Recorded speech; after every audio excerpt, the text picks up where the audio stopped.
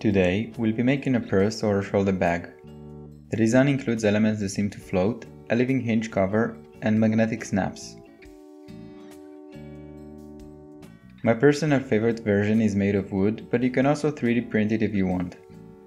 As always, you can find all the files you'll need for free in the description below, but there are also some tricks in this video that will make assembly much easier. We have a lot to cover, so I'll just briefly touch on the design process for those wanting to create their own version. I started by imagining the purse flattened and drew it in two dimensions, experimenting with different prototypes. I really like the technique where fabric is attached to the wooden pieces.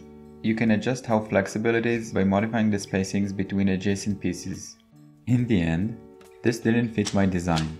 The version I'm happy with consists of 5 outer faces and a lightweight skeleton, all cut from 3mm plywood. So let's get to work. Begin by cutting out the skeleton as it's essential to cut these parts first. Since all 5 faces differ, you must know which skeleton part corresponds to each face. Notice that I painted one side of the wood with dark paint. This will make the skeleton less visible from the outside. Take out the parts from your laser cutter. Remove the pieces in between the frames. You should end up with these lightweight frames. Next, cut the other faces, making sure your material settings are perfect so the parts come loose when the laser finishes. This might take a while, especially for the living hinge top. Once cut, leave the parts in your laser for a little longer. The part should look like a solved puzzle and we'll use that. Apply plenty of glue to the painted side of one of the skeleton pieces. I used transparent all-purpose gel glue. Then, lay it onto the outer shell that's waiting in your laser cutter. The skeleton pieces are designed to hold the floating parts in place, so make sure it's aligned properly. Repeat this step for all 5 outer faces. For the front and back faces, ensure a 6mm spacing on each side, marked with the pencil.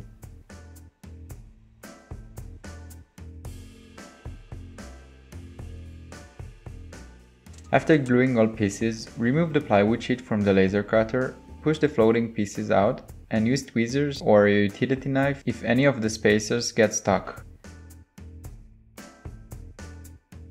Take the time and pay extra attention during this step.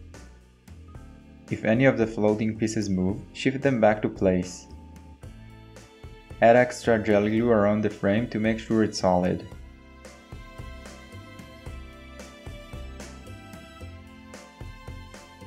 With all 5 faces glued and excess material removed, we can start assembling the purse. Lay the pieces on a flat surface and glue them one by one.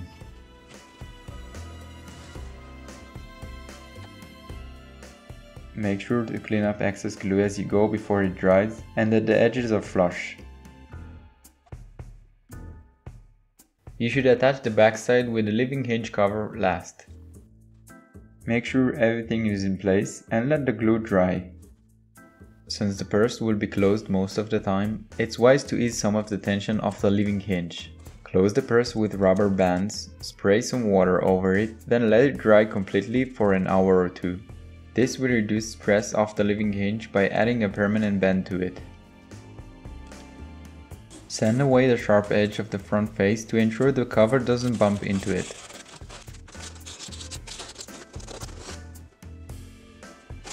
To make the purse look a little classier, sand all its edges until they are round and smooth.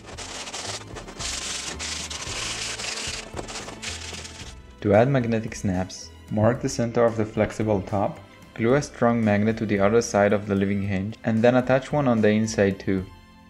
I used silver rectangular magnets to make the purse look a little fancier. You should avoid using colored glue like this grey epoxy glue I used. I had to do a lot of sanding to get rid of this mess. For the strap, you can either buy one, create something out of leather, or keep it simple like I did with a thin piece of brown fabric.